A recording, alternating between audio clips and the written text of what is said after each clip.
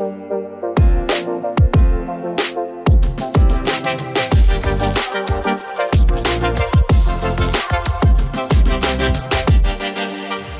de regreso y le vamos a dar la bienvenida a la ex candidata a gobernadora por el Partido Libertario aquí en San Juan, Yolanda Agüero. Gracias por acompañarnos, Yolanda, bienvenida. ¿eh? Muchas gracias, muchas gracias por tu invitación. Bueno, y hay eh, varios temas para, abordar, pero te propongo arrancar por el que me estabas anticipando en privado. Y es que hay una situación de, yo no sé si denominarla conflicto, eh, entre libertarios por la denominación ¿no? del espacio. Vos integrás el Partido Libertario y hay una colisión con el partido La Libertad Avanza, eh, en términos jurídicos, ¿no? Para apropiarse de esa denominación. ¿Se van a poner de acuerdo o no? A ver, no se trata de ponerse de acuerdo, porque el partido La Libertad Avanza está armando eh, el partido mismo ya a nivel nacional y los libertarios venimos armando nuestro partido a nivel nacional hace bastante tiempo ya, desde el 22. Entonces no sería una cuestión jurídica, sino una cuestión de mero capricho en ese aspecto de querer tener, me gusta tu saco y yo quiero ese saco porque me gusta, pero ese saco ya está comprado, ya tiene su dueño, ya lo pagaste. Salvo que nos pongamos de acuerdo. Y viste que la política es, el arte de lo posible. Sí, pero no hay que ponerse de acuerdo, lo justo es justo y bueno, vamos a ver lo que resuelve este, su señoría la jueza Servini, que es justamente quien entiende la causa. ¿Cómo está la relación política, eh, hablando del Partido Libertario y la Libertad Avanza? Y bueno, lo que pasa es que hasta que nosotros los libertarios no tengamos la denominación, no seamos partido legalmente constituido eh, de orden nacional, eh, estamos en stand-by, o sea, estamos en espera, no podemos decir si tenemos o no tenemos una, una relación. Eso a nivel nacional, por supuesto. ¿Hay ruidos en la relación con Javier Milei? Y bueno, Javier Milei, ¿qué pasa? El presidente no es político, entonces él no interfiere en nada de lo que sea político. Por lo general lo hace hermana, su hermana o, en este caso, Lule Menem o Martín Menem. Así que tenemos, tendríamos que sacar la figura del presidente. ¿O crees que el presidente en esto no tiene nada que ver? Que acá, Que es Karina, Lule, Martín Menem. Y Martín Menem. La Libertad Avanza es un partido de, de Martín. Entonces, eh, bueno, yo creo que esto se va a resolver. Yo no sé si el apoderado, porque no sé si se habrá recibido hace poco eh, de abogado, eh, pedir algo que no le corresponde es como querer pedir yo la casa que has comprado y que estás esperando escritura. ¿Me explico? Entonces no puede pretender él que nosotros desistamos de nuestra denominación logo y todo lo que, colores inclusive, y todo lo que nos distingue como libertarios. Ahora, Yolanda, yo no me imagino el Partido Libertario, más allá de esta discusión por, por los nombres, no me imagino este, jugando ustedes aparte de mi ley, aparte de la libertad de avance el año que viene. No me los imagino por separado. ¿O sí me tengo que imaginar? No, nosotros no hacemos futurología, estamos mirando y esto es como jugar al ajedrez. Mira que la futurología es ya nomás, ¿eh? Bueno, sí, pero lo que pasa es que estamos esperando, necesitamos saber dónde estamos parados para saber, o cuánto tenemos para saber qué vamos a comprar. Y en este caso necesitamos saber qué es lo, qué es lo que pretende la libertad de avanza. Nosotros apoyamos siempre a la libertad de avanza el presidente se colocaba la bandera como poncho de nuestro partido. Y siempre dije acá en estudio y en todos los medios que era nuestro candidato. Entonces, si es candidato del Partido Libertario, eh, él va a tener que saber o distinguir, decir, bueno, con quién se queda. Nosotros, el año que viene no es una elección presidencial.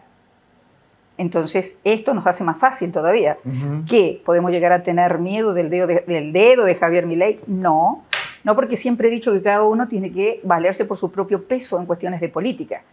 Y en este caso, eh, las paso, espero que continúen, porque justamente es lo que hace que el dedo de cualquiera, de cualquiera que se presume líder o, dirigente político, diga vos vas, vos vas, cuando la verdadera democracia y la participación política para todos los argentinos en nuestro país, de hecho Estados Unidos le va muy bien, es justamente las pasos. ¿Por qué? Ahora, vos sabés que, el, gobierno, eh, a instancias de Javier Milei y su equipo, están proponiendo la eliminación de las pasos. Y sí, porque es una democracia, o sea, la gente debe entender, y eso es cierto. Yo, ojo, lo analizo así con otro, junto con otros constitucionalistas.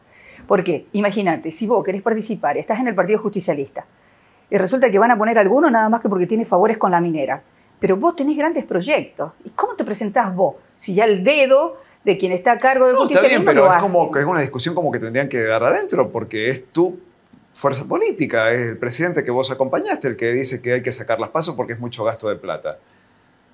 No, nosotros siempre apoyamos las pasos y no somos obsecuentes, no porque el presidente diga tirémonos al río, nos vamos a tirar al río. ¿Quiénes nos ordenan a nosotros? ¿Quiénes nos mandan? ¿Quiénes nos dicen el camino a seguir? Son ustedes, el pueblo. Y si el presidente está equivocado en algo, y bueno, nosotros salimos a favor del pueblo. no solamente en esto, sino en algunas... Eh, por supuesto que apoyamos varias de, las acciones y del accionar que tiene Javier Milei, que es nuestro presidente. Claro que lo apoyamos. Seguimos siendo, él sigue siendo libertario de hecho. Entonces lo vamos a apoyar. Pero en no la disolución de las pasos. Claro. Eh, ¿qué, te parece, ¿Qué te parece esta crisis o ruptura entre Javier Milei y Victoria Villarroel? Y bueno, siempre los vices se han llevado mal con los presidentes. Lamentablemente. Algunas veces, algunas veces. Casi siempre, un 90%, un 99%. Y ha terminado mal la película, ¿eh? Sí, eso es bueno, pero también pasa porque no hubo una organización, un color de política del mismo color.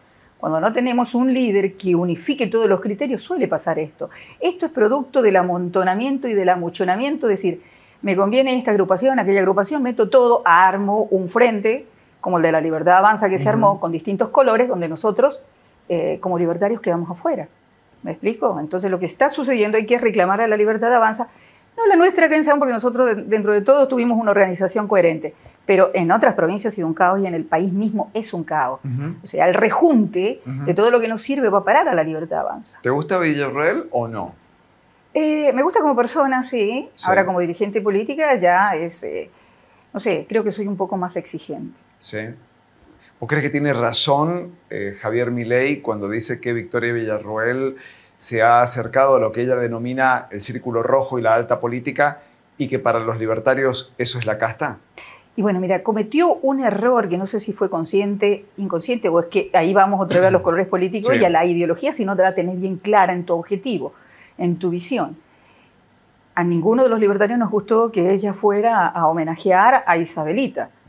¿Me explico? Entonces hay cosas que de repente determinadas acciones en algunos de los dirigentes políticos no son dirigentes porque son funcionarios al fin dirigente político es aquel el que se preocupa por las bases, está acá y dando, da explicaciones a, sus dirigidos, a su militancia. Pero estos funcionarios que a veces toman una decisión, la hacen, y no importa si, si llenan el sentimiento del mismo pueblo argentino, por supuesto creo que, quiero creer que el presidente se ha dirigido por ese accionar que ha tenido la, la vicepresidente Villarruel. Em, parece, ¿qué, ¿Qué opinas de que Lilia Lemoine se refiera a la vicepresidenta como bicha cruel en redes sociales? Yo creo que eso le hace mal a la política. Y Adelita hace muy mal en hacer eso, la adjetivación. La, estos apelativos que usan. Esto para disminuir es un acto de agresión para hacerte sentir muy mal y decaer vos y bueno, bajarte en tu autoestima. Esto es muy viejo, esto lo hacían los nazis. No digo de que ella es nazi, no digo que Javier Milei es nazi. Vuelvo a repetir que una vuelta también me, quisieron hacer decir eso. No, el accionar es típico. Lo empleó este Hitler. Yo te disminuyo, te pelo, te desvisto, te maltrato. Socavo tanto tu autoestima que vos ya no tenés por qué vivir. Bueno, a mí me lo hacen acá en San Juan. O sea, ¿Sí? claro. ¿Te este, sentís menospreciada? Gracias a Dios. Creo tanto en Dios que no, creo que tengo mi autoestima. ¿Quién te ha destratado? Y bueno, acá yo he tenido golpes muy bajos eh, de la señora Belén Varela, del señor eh, Félix Paz, o sea, y todavía tengo esa persecución. O sea, admirándome de que soy gorda, así pobrecita las que pesen más de 75 kilos, porque yo peso eso, de vieja, pobrecita las personas mayores de 50 años, porque él ataca a todos los viejos. Y lamentablemente lo hace con el vocabulario de nuestro presidente, nefasto, y, en otras terminologías que no se pueden reproducir. Ahora, lo bueno, Daniel, es que vuelvo a repetir, soy fuerte, soy mujer y soy fuerte. Entonces, y creo que puedo distinguir entre lo correcto y lo no correcto. Entonces, esta gente le hace mal a la política y a Adela le hace muy mal a todos. No solamente eh, al partido, a las personas que quieran agredir. Cuando hablas de Adela, hablas de Lilia. Claro, ella se llama Adela, Adela Adela Lilian Bolucalo.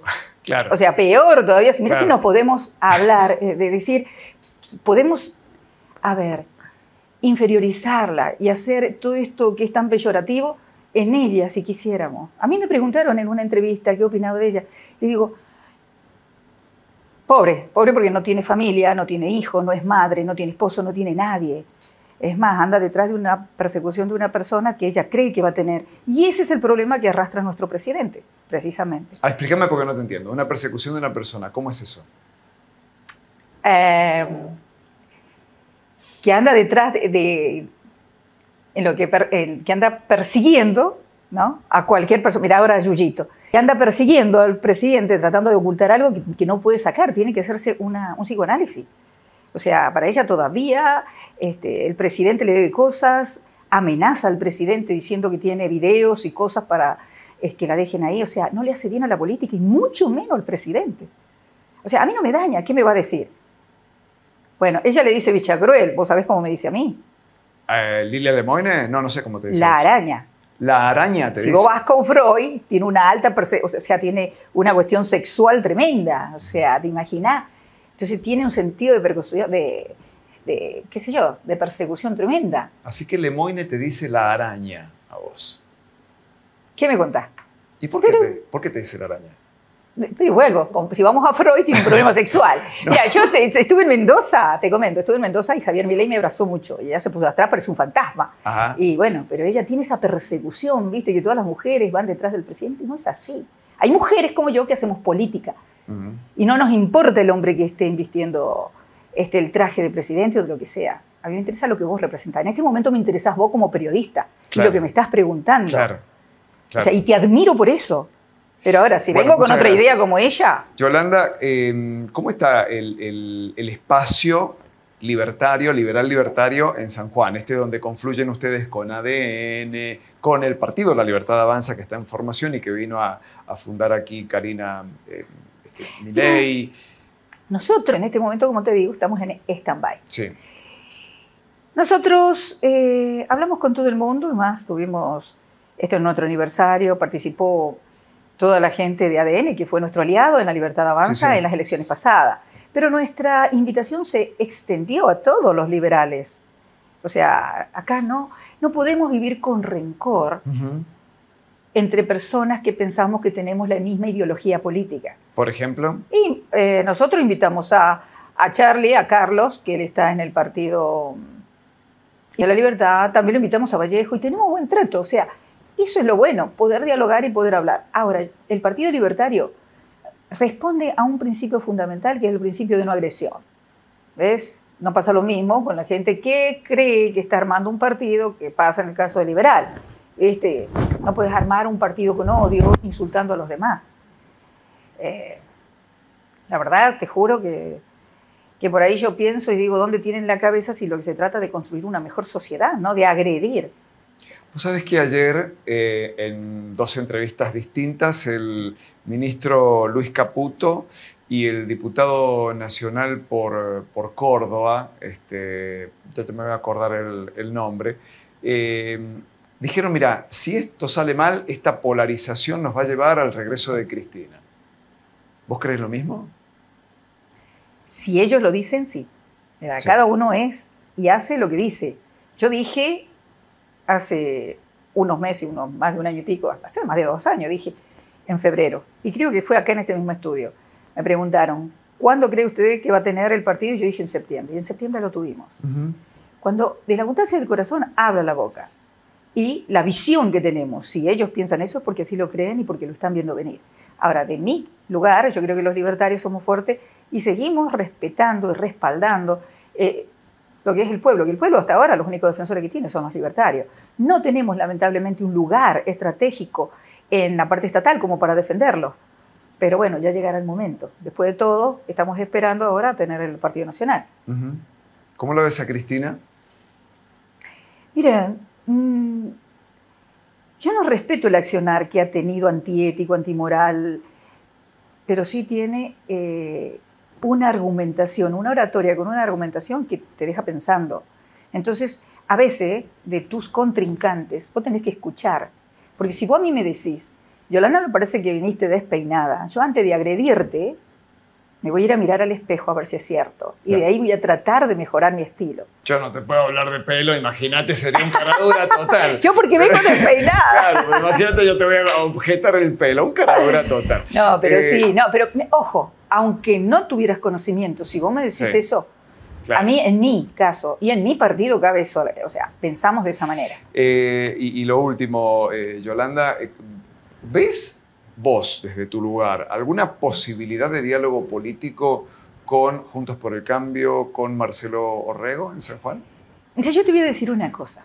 Yo veo, y para mí, el diálogo está para todos, en todos o sea, puedo dialogar con vos, siendo inclusive mismo, es más, a José Luis yo lo hablo, lo trato, y no por eso significa de que compartamos el mismo ideal José Luis Gioja. José Luis Gioja, sí.